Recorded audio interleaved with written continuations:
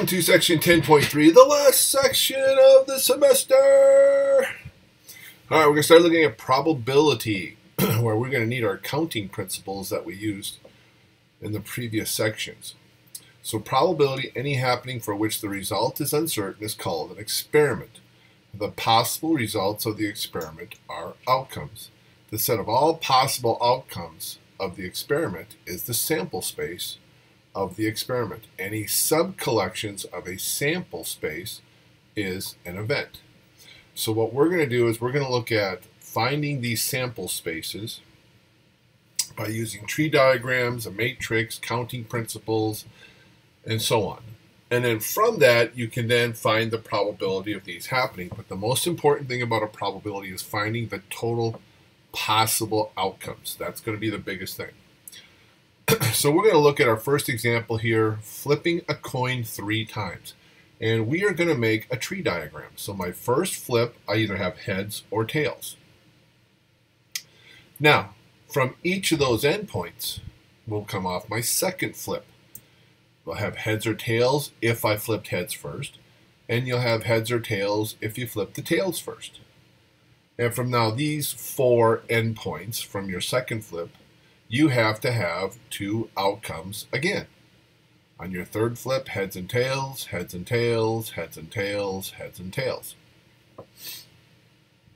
So now to build your sample space, you start with heads and a heads and a head. So you could flip the coin and get heads three times in a row. Or you could go heads, heads, tails heads, tails, heads. You just follow the path of your branches. Heads, tails, tails. And once those first four are done, we're no longer going to have heads be flipped first. Now we're going to go down the tails branch. So tails, heads, heads. Tails, heads, tails. Tails, tails, heads. Tails, tails, tails. This is my sample space and there's eight possible outcomes. And you get get eight because you had two possible outcomes for each flip and you had three flips. So two to the third power or two times two times two is our eight. All right so that's how you build sample spaces using a tree diagram which is very convenient if your event has very limited number of outcomes in it like your flip, you only have two outcomes. Rolling two dice. Okay, you have, let's say, one dice will be blue, the other dice will be red. And when you roll two dice, we add up the numbers. So here we'll build a matrix of all the possible sums that you can encounter. Now, a lot of times people say, oh, what's my denominator? What's the total outcome? It's not 12 you have six blue numbers times six red numbers for a total of 36. So any probability with rolling two dice has to be a denominator of 36. If we're working with a deck of cards, another popular um, oh, experiment with cards, especially if you like to play things like blackjack and poker and stuff like that, where you can take people's money because you know how odds and probability work. Hopefully, I got your attention. So, in a deck of cards, we have two different colors, red and black. The two reds, suits, are hearts and diamonds. The two blacks are clubs and spades. And then you have what is known as your marked cards or your value cards. There is no number one. Ace is not considered a one. So we start at 2, count up to 10, and then there's the Jack, Queen, King, and Ace. If you build a matrix that represents all 52 cards, 4 suits, 13 marked or value cards. I prefer to say marked because the Jack, the Queen, the King, and the Ace technically does not have a value. Face cards are just the Jack, Queen, and King. Ace is the Ace, and these are your value cards. All right. Your probability will always be a number of outcomes of the desired event out of the total number of outcomes in the sample space. So we'll write this as P of an event. The probability of the event will have the following range. Your probability can be 0 up to a 1 and any fraction or decimal in between. All right, you can never have a probability greater than 1 and you can never have a probability less than 1. All right, so again, always find the total of number outcomes first because then when you find the probability of the event, that should never exceed whatever your total number is. So if we're going to find the probability of two tails and three flips, and it's very important to pay close attention to the way it's worded. If we go back to that sample space that we created earlier, how many of these have two tails in it? All right, well, before you figure that out, again, remember there was eight possible outcomes. So your denominator is going to be 8. Now count the two tails. Uh, no tails, one tails, one tails. Oh, here's two tails. One tail, two tails, two tails.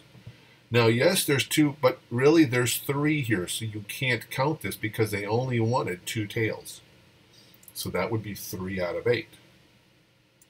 Now, if we take our event and tweak it just a bit, what's at least two tails and three flips. If we put in that phrase at least two, now you can have two or three. So now we're going to go ahead and count this last one. So again, our denominator will be 8. Include the three tails. Now it's 4 out of 8. And that's going to be 1 half. So the probability of flipping at least two tails is 50%.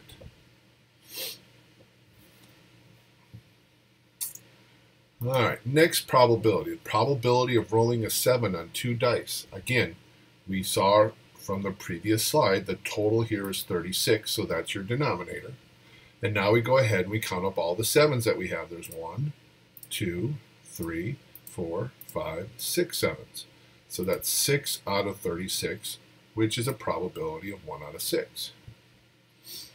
If I wanted to find the probability of rolling a value greater than 8, again, the denominator is 36, I look for all the numbers that are bigger than an 8. That's the 9s, the 10s, the 11, and the 12. And I count them up. 1, 2, 3, 4, 5, 6, 7, 8, 9, 10. 10 out of 36, or I can reduce that to 5 over 18. if we wanted to find the probability of a face card, again, going back to my table here, there's two ways that you could do this. You could say there's a total of 52 cards and then fill in where all your face cards are at. Count those up 1, 2, 3, 4, 5, 6, 7, 8, 9, 10, 11, 12. Put that 12 over 52, which then you can reduce to 3 over 13. Your other option that you could have also done is say, look, Here's all the marked cards across the top. There's a total of 13 types of cards. Out of those 13 types of cards that are marked, there's one, two, three face cards, 3 out of 13. That's another way that you could find the probability. All right, next you're going to run into probability events that use the word and and the word or.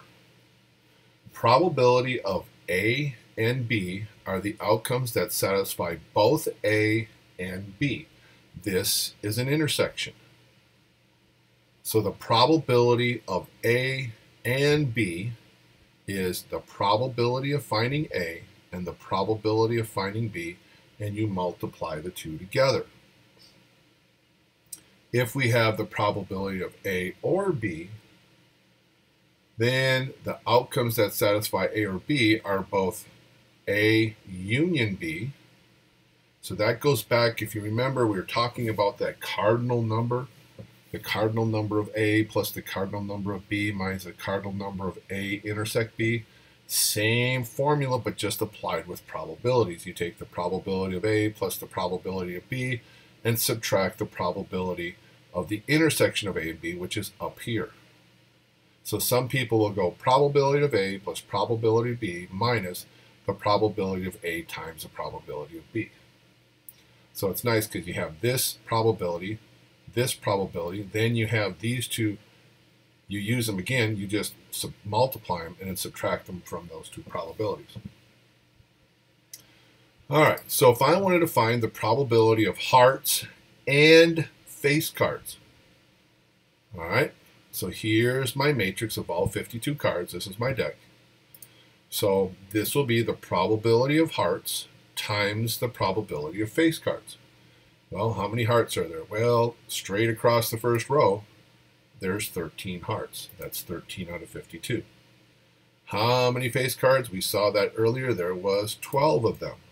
There's my 12 face cards. See my pretty little faces there?